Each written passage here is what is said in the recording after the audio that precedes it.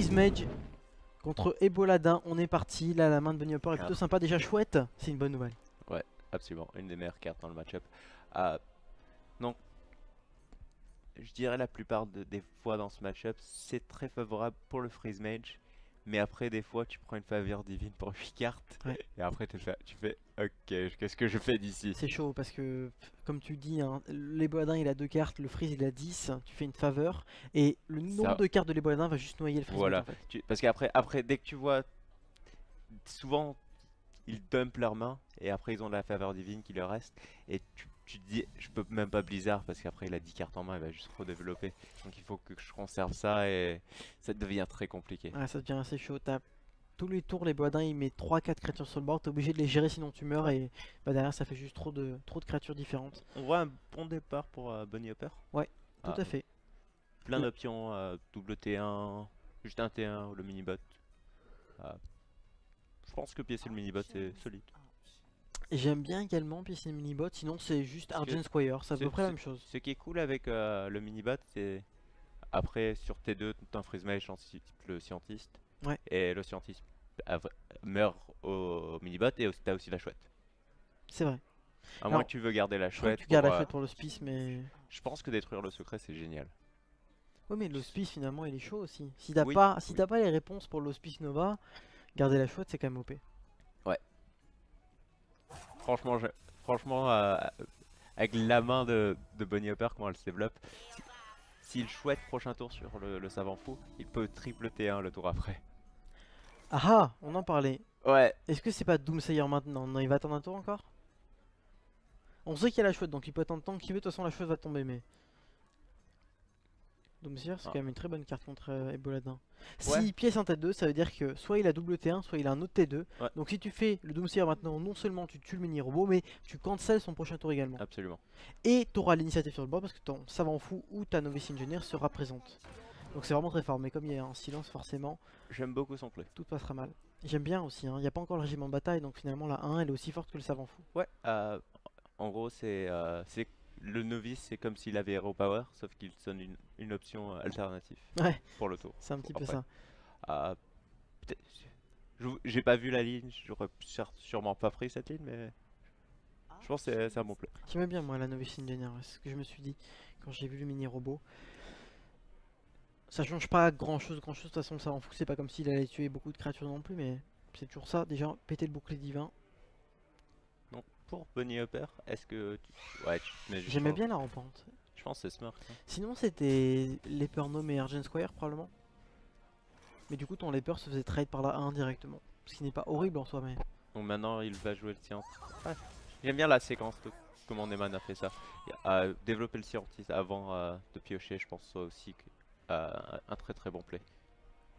T'as vu, il continue à cliquer sur sa carte de gauche. Donc finalement, je pense qu'il est pas en train de bluffer. C'est effectivement du peut-être du stress ou, ou un tic nerveux. Je sais que Neyman, quand je joue contre lui en ladder, il fait toujours ça. Tu vois, il limote beaucoup et il touche beaucoup ses cartes. C'est quelqu'un peut-être qui est juste stressé. C'est un moyen d'extérioriser son stress comme toi, tu aimes bien caresser tes cheveux. Ta belle chevelure. Absolument. Exactement. Je spam aussi au-dessus de mes cartes aussi. Ah ouais, t'as bien raison. Ça fait du bien. Ça extériorise un petit peu ton stress, tout ça. C'est une très bonne chose. Allez, on il le sait là. attends, je vais me calmer, j'arrête de toucher les cartes, on se met bien, on va se caresser le menton. Tout va bien. Eh, j'aime beaucoup le triple T1 de, chez Bunny Hopper. Il est pas mal. Hein. Oh, Waouh, il prend la cheveux direct. Nova Hospice Il va péter la rampante. Neyman, il a un cré gazeux intérieur là, il est énorme. Ouais. Par contre, il va prendre euh, quelques dégâts là. Un petit peu, ouais, un petit peu. Je pense qu'il doit piocher là. Hmm, j'aime bien la pioche. Le, ping c'était un peu trop lent. Il n'y a pas Oreb encore de disponible pour le Ebola. Je sais même pas s'il le joue en fait. Donc, euh, Le board est bientôt full. Je crois que c'est. Tu peux, ouais, tu peux tu peux pas jouer régiment, ça c'est sûr. Si tu joues les 2 T1 et tu peux même pas rentrer les repower. C'est ça, hein. c'est Par logique, je pense. La Uldaman elle met 2 points de dégâts maintenant et elle met 3 au prochain tour. Donc c'est vraiment super. Ouais. C'est pas comme si elle servait à être gardée contre l'Hospice Nova, de toute façon tu peux rien y faire. vu que tu as déjà balancé ton, ton, ta chouette. Donc là, la chouette, concrètement, elle a soit enlevé un bloc, soit enlevé une barrière. Donc soit elle a fait 8 points de dégâts, Ouais. soit elle a enlevé la possibilité du match freeze de survivre un tour de plus. Donc elle est quand même sympa. Mais à côté de ça, tout ton board se fait rouler dessus. Ouais. Et tu perds deux tours. C'est quand même pas facile. Blessing of Kings, Ah, ça aurait été une bonne carte ça. hein. Ouais. Oh là là là là Sans la Novo Hospice de Neyman, la Ouais. game était dé- déjà tellement terminée. Je pense que c'est- vraiment pas un bon match-up pour Eboladin. Et je pense que tu dois prendre ce risque. Le risque de choix était d'espérer qu'il n'y ait pas Novo Hospice. Ouais. Je suis d'accord avec ça. Là, on peut se dire, Bunny Hopper il a fait un misplay, il avait la chouette donc il avait gagné sur Novo Hospice, mais c'est pas le cas. Il fallait qu'il prenne des En, risques. en, en re-regardant le match, absolument, c'était incorrect Ouais. d'utiliser la chouette. Absolument. Mais tu peux pas jouer autour de tout. C'est toi qui m'as dit ça, Purple, je me souviens en premier. Euh, quand tu joues aggro, tu peux pas jouer autour de tout. Il faut que tu choisisses, il faut que souvent tu face et que tu espères qu'il n'y ait pas les bonnes cartes. Absolument. Un balayage, un blizzard, un choc de flamme parfois. Si ces cartes-là sont dans le deck de l'adversaire, t'as perdu. Je pense que le, par globalité, le contrôle est strictement mieux. Si le contrôle avait toujours les la meilleure réponse possible, l'agro ne gagnerait jamais une partie. Ouais, il faut espérer qu'il n'y ait pas Voilà. toutes les réponses. Il faut chatter un petit peu. Qu'est-ce qu'il va nous faire le bunny Ah, hopper c'est la, tristesse de- Power c'est la tristesse de faire ce play dans- sur un- avec un Nako sur board. T'as même pas la faveur divine pour punir. quoi. C'est vrai. Et s'il avait eu la faveur, il, a- il aurait probablement tapé dans la colite du coup, hein, parce que tu perds un point de vie et en échange tu gagnes une carte, donc c'est quand même rentable. Je pense que c'est. Ah, il va. Est-ce qu'il va tout jouer? Il va rentrer le Power. On dirait qu'il va rentrer l'Hero Power quand même. Ouais. euh, Le Blizzard a l'air sympa. hein. Il a l'air bien, mais je me demande s'il est nécessaire. Parce que là, tu peux prendre euh, une carte sur la coffre, déjà pour commencer. Je pense que même si tu blizzard, si tu blizzard, tu prends une carte quand même. Oui, bien sûr, tu tapes dans une Donc tu commences avec une carte. Ah, si tu trouves un deuxième scientist ou un bloc de glace, waouh, il prend même pas la carte. Non, on dirait pas. hein. Alors, s'il faisait trade ping Novice Engineer, il laissait 3 Trois 1 mana. Ah oui, et mais après il a, il, a tout- il a le mana pour trouver un secret ou Ouais, un truc comme ça. donc ça c'est surprenant quand même de la part de Neyman s'il vient de faire ici. Ah, les- le Squire et l'Ulduman, ça a l'air. euh, Ça a l'air mal. plutôt cool. Hein. Et après, euh, le tour après, ce sera une 7-7 avec, avec bouclier divin. Tu fais pas Power du coup pour deny le. Je sais pas, Neyman il vient de dire, euh, je pense, ta faveur divine, donc peut-être. euh, peut-être c'est. C'est pas complètement débile. C'est pas débile, ouais. Dans le sens où Neyman n'a pas voulu trop piocher, peut-être que tu peux te permettre de Ouais. Mais il le fait pas. En gros, on, on- on voit déjà que Neyman. What the- Ah, il- Il veut limiter sa pioche. Ouais. Pour, pour Neyman, il est convaincu qu'il y a, qu'il y a faveur du, à divine dans la main de Bunny Hopper. Bunny bien. Hopper, il peut prendre cette inf- information et dire Oui, j'ai faveur divine en bluff. C'est vrai. Il aurait pu, il aurait un 1 sur le board en plus maintenant, s'il avait fait ça. Donc Il y a payé. 16, il y a 26 dégâts dans la main de Neyman. 26 dégâts. Est-ce qu'il est temps de commencer à, à se marquer? T'as que 20, il y a 6 en face, 7 avec l'arme. Il y a 4 qui arrivent au prochain temps. tour. T'as un peu de temps. T'es mort en 2 tours. Mais t'as t'as le bloc.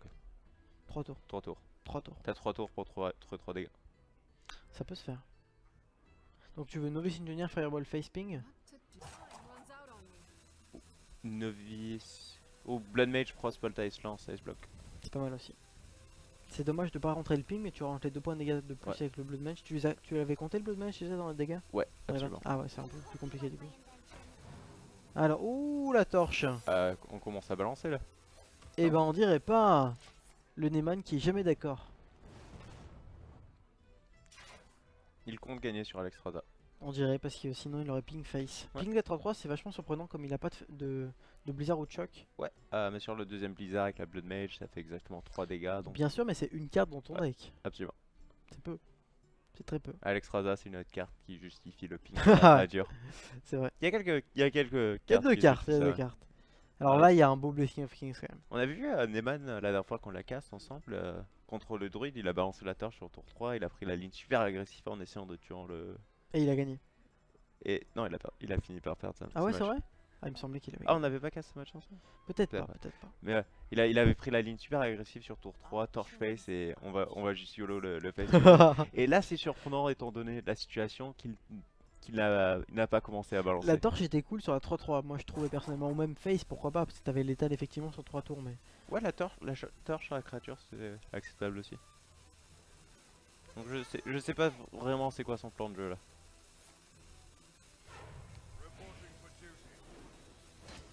Donc tu vas probablement envoyer l'arme dans la 1 quand même. Ah, ouais, ça protège le jongleur sur le board. Ça protège le jongleur exactement. Bim, bim, deux tours, Ouais, le, le t'as l'étal. prochain tour, euh, Neyman se fait pop. Oh, Pas 8 mal, points de vie. Donc ça le met à 17, il y a 10, 13, 14, 15 sur le board. 16 avec token, à cause du jongleur. Tu pourrais partir défensif là. Blood Mage, Fireball sur la 7-7, Frostball sur la 3-2. Ah, c'est juste mes deux torches. Blood, Oui, Ma- tu peux Blood, Mage, boule de feu et torche. C'est vrai, c'est vrai. Y a qu'une carte euh, dans la main de Bunny Hopper. Donc, d'un côté, tu te sens un peu mieux en faisant ça. En- en- en- tu peux te justifier un peu plus que ouais, il a qu'une carte. Donc, si je gère ça, je vais gagner. Si tu fais ce play là, tu la 7-7 à la 3-2, il y a 4, 5 points de dégâts en face. Donc il gagne sur Blessing of Kings uniquement.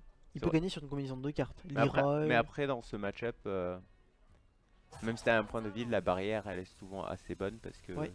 il y a que consécration Et jongleur. c'est très peu. Ah,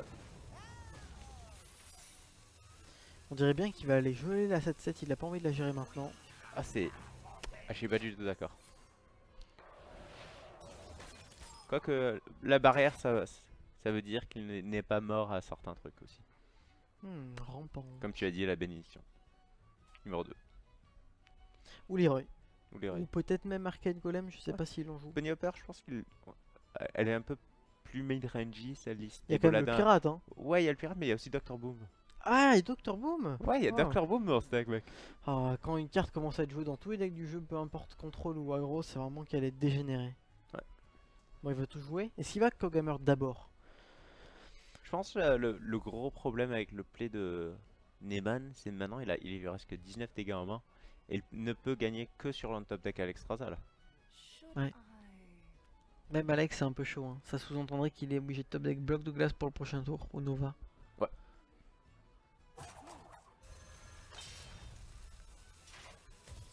Non, pas la bonne.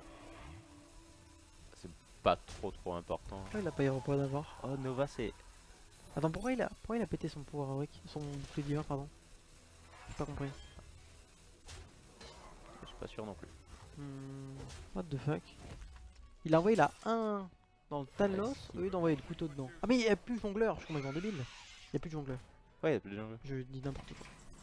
Tu veux dire, il y avait un argument pour envoyer l'arme qu'il Regarde ce qui vient de se passer. Oh bah dis donc le Il, a, il avait Pyroblast, Boule de Feu, Frostbolt et les deux cartes du top Nova et Auspice. Allez, on se met bien Incroyable. Je pense sur ça, il, a, il, a- il vient de, de, de voler la game. C'est tout à fait possible. En face, il y a qu'une arme qui fait 4 points de dégâts. Pirate, c'est pas assez bon. Non, c'est pas assez. Attends. Donc là, il prend 4. Ah, c'est incroyable. Il est à va- 8 il pas PV. le pirate là. Il a besoin de toutes ses ressources. Ah oui, mais je suis bête, le pirate il mourrait sur le spice, effectivement. Enfin, j'ai Il- ramassé cette connerie. Il reste aucun- aucune barrière dans le deck. Il y a plus de barrière, il y a encore un bloc. Donc ça, ça- Je crois qu'il joue pas de robot non plus. La Listarch ne joue souvent pas ro- robot, non? Il a pas la place. ah, Est-ce que tu colles 9 à to- ou tu pyroblast Qu'est-ce que tu veux?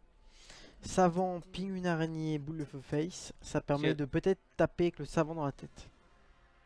Ouais. Donc c'est pas mal. Un des problèmes avec euh, que Neyman va affronter là, c'est qu'il peut pas vraiment jouer autour de faveur divine du top deck. À, à moins de, de gaspiller ses cartes un peu. Mais si justement, savant fou, boule de feu, ping. Ouais. Ça fait que Après, la faveur est quand même vachement nulle.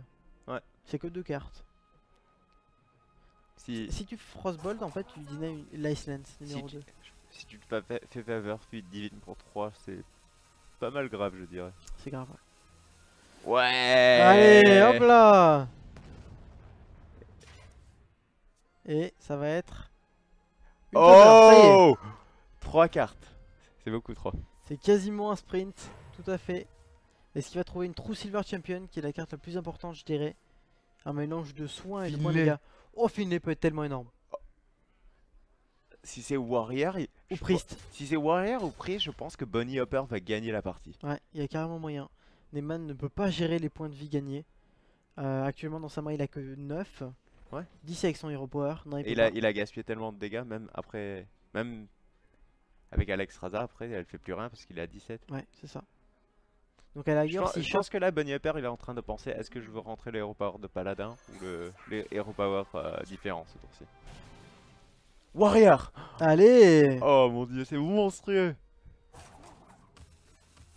Oh, Neyman, il voit ça, il fait Ah oh Les paladins qui gagnent des PV.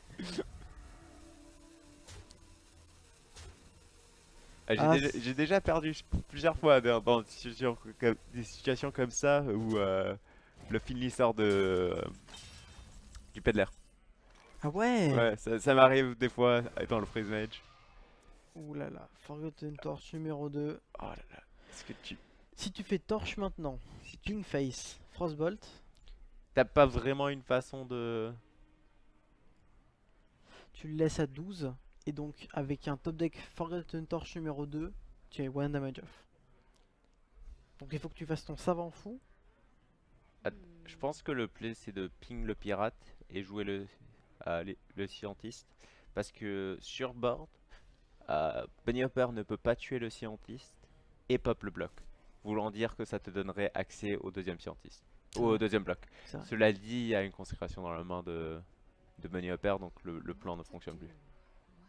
Ouais, mais il peut pas vraiment le savoir. Mais c'est un bon Ouais. play, effectivement. Ça joue autour de tout sauf consécration. Quoique, euh, Torisan n'est pas bête non plus, du coup. C'est un petit peu la même, euh, la même idée. C'est-à-dire, s'il n'y a pas de consécration, il va être obligé de soit proc le bloc, soit gérer la créature. Donc, si la créature va face, c'est bien mieux que si jamais je fais un sort. Maintenant, ça va être consécration Ah, 100%. Bunny Hopper, il va jouer ses- sa main. Et euh, bah, Neyman, il, il a la possibilité de survivre en, euh, en utilisant euh, la torche sûrement sur le- son, son propre savant fou pour Ouais, sortir le bloc. Le problème, c'est que c'est pas vraiment. Et après, après euh, si le board n'est pas énorme énorme, il peut éventuellement gagner sur une Alexstrasza défensive. Il peut choper Alex, Blizzard, bloc numéro 2. Je pense qu'il est... Mais comme tu l'as dit, Alex est probablement le meilleur, Ah, la meilleure pioche. C'est n'importe quoi ces Power de Warrior. C'est n'importe quoi. Il y a 8 points de dégâts sur le board de Bunny Hopper. Oh, bah. Blizzard, c'est assez bon. Ouais, tu peux Blizzard savant fou, suicider ton savant fou prochain tour. Et tu, tu ping le milieu bot là? Euh, Tu veux contrôler le board maintenant? Ouais. Tu peux, hein. Ou tu torches le Shredder et après tu Blizzard. Et Ou après, pas. tu, et après tu joues le, le scientiste. Parce que ah, ah, tu dois contrer le, le- ton, euh, ta condition de victoire maintenant, c'est une Alexstrasza défensif. Ouais. Donc pour que ce plan marche, il faut un peu de contrôle du board. C'est ça, c'est exactement ça. Si tu t'Alex, il faut que tu gères le plus de créatures possible sur le board. Et Bunny Hopper, il peut top quoi? Régiment, Jongleur, True Silver, Consécration. Ouais. Il y a quelques létales ici. Oh, Ah, Frostball Face, pas mal. Ouais, juste euh, jouer autour euh, du top deck arme. Tu viens de voir consécration, à part, à part ça, il y a juste jongleur ou la deuxième consec. Ouais, et dans ta main, t'as deux quoi? Oh putain, le gnome lépreux. Oh là là là là, ça va être chaud à gérer ça par contre. Ah ouais, c'est ça, ça rend tout compliqué. À 9, 11, 12 dégâts pour Neyman cette tour Alex Raza, Orito. Oh Quel brutasse Quel brutasse ce Neyman Attends, tu smurk là? Je pense, ouais, non? Ah, Elle est perchée l'Alex là. Ouais. hein. Elle est dans les nuages là, ça y est. Ah, Si tu vas face là, parce que il peut pas la gérer, donc Ah. tu vas rentrer les 8 de l'Alex Raza, t'aurais gagné. C'est ça non? Tu vas face, t'as 10 prochains tours, ton adversaire est à 20. Ah, là Ah, voilà ça y est, Il est à retombée. 20, il a 10 plus 9, 19. Non, c'est à 9. Et c'était à 9. le jongleur juste. Il est 1-9 là? Ouais, il est à 9. 10, 16, 19, 10 plus 10. 20. Ah non. Donc faut tuer le scientiste. Il y a 20 là. Ouais, c'est exact. Ah, c'est incroyable. Goulsi. Il peut même envoyer le shredder dans Alex et tenter le couteau. Ouais. Il peut. 1 hein. sur 3, l'Alex meurt. Exactement. Et si, Alex, et si Alex se fait gérer, je pense que Neyman euh, n'a plus assez Oh pour putain, il le tente, il le tente. Oh, non C'est pas vrai C'est pas vrai Cette game Le Lightwell contre un Mash Freeze Et le couteau qui Light- part sur l'Alex Lightwell Warrior Hero Power. Oh. Non Ça Ah, n'arrive attends. jamais Est-ce qu'il doit, est-ce que Neyman doit tuer la Lightwell là non? Il doit, ouais. Donc Il- Frostpot, la Lightwell et tu torches le jongleur et tu contrôles le board. Je crois que c'est ça. hein. Mais Est-ce comment est-ce que t'es- tu gagnes? est-ce T'as que t'es t'as pas obligé de la Anthony Das frostbite dans ce deck? Si tu fais juste trail le savant dans le Lightwell, ping le Lightwell et qu'il se fait pas soigner lui-même, tu peux, le- tu peux le tuer au prochain tour. Donc peut-être que tu gardes ta frostbite. On a encore un javelot dans le deck. Et une boule de feu. Je pense. Donc on a un total de 12 dégâts. 15. Plus ah, et plus potentiellement- torche. Plus ta Putain, Il y a torche. plus de créatures. Donc il y a ouais. 3 boules de feu. Donc c'est 18. Parce que La pour, torche ça fait 21, la frostball ça fait 24, t'as 28 dégâts. pour ceux qui sont pas au courant, Neyman joue une version du Machery sans Anthony Das, donc c'est pas une carte qui est possible euh, en top De deck. renverser la partie, ouais. Sinon tu peux juste boule le feu de Lightwell aussi. Hein. Oh putain. Il va ping le Lightwell, c'est ça. Et il veut gagner un 50-50. Attention Dice roll Oh, ça va, il se ça met passe. bien C'est un bon top deck, je dirais. Consécration, c'est très Ouais, bien. ouais, juste gérer le, le scientiste. Le cri de guerre du Docteur Vaudou Ah, J'ai Attention aucune idée ce que je regarde là. Donc euh, le bl- deuxième bloc va sortir. euh, le mettre. Donc euh, pour Neyman, il est content. Ah, de il est toute façon, content. il peut pas top deck bloc. Par contre, maintenant, Lightwell devient un souci. Oh. Est-ce que tu le tues? Oh damn. Tu peux aller face et ping le Lightwell encore une fois. Le Lightwell, c'est Yeah. le soin d'une Frostbolt. Hein. C'est un 50-50 tous les tours. Attention Oh mon dieu. Oh, Oh Medium. Shredder Oh, Shredder, c'est un bon top deck ça. Je crois que c'est sa carte la plus chère. Ouais. Peut-être hormis Oreb et Dr Bomb du coup. Bon là tu peux ping le Shredder et après c'est ça diminue encore la Oh probabilité. putain On- 6, on 7, se 8, 9, rapproche. 10. On se rapproche. Comme tu dis, ping le Shredder, il y a une chance sur trois que le Ouais, Lightwell si- face. le- donc si tu fais 6, ton adversaire passe à 7. Ah non, faut ping face là. Parce que t'as Javelot du top deck. Et sur Javelot du top deck, euh, Warrior armure jusqu'à 9. Donc t'aurais plus le létal. Il faut, il faut absolument que Neyman gagne ce 50-50. Ok. Il l'a gagné. Oh là là. Oh là là, il a gagné. Et sur, sur le top deck Javelot, maintenant c'est létal. Oh, il mais a combien de chances On connaît pas la taille du deck. Ouais. Mais visiblement, celui de Benioper est très petit. Javelot, Javelot ou Roaring Torch. Roaring Torch aussi. Et c'est Oh putain, il l'a Sur le eu 50, Le Neyman Il est tellement ouf Oh, c'est pas Oh, vrai, Purple, putain. cette game Ice Je n'ai aucune idée de ce que je viens de voir. C'était un Eboladin avec un aéroport de Warrior avec un Lightwell. Contre- Je pense que les deux joueurs ont, ont été très chanceux d'une façon unique cette partie. Genre, c'est. Ouais. Il y a, y a Bunny à la fin, il a fait cette expression comme Eh, Ouais. eh, je, mé- je méritais sûrement pas de gagner cette partie de toute façon. C'est là, c'est là où Hearthstone est quand même un jeu vachement fun, hein, parce que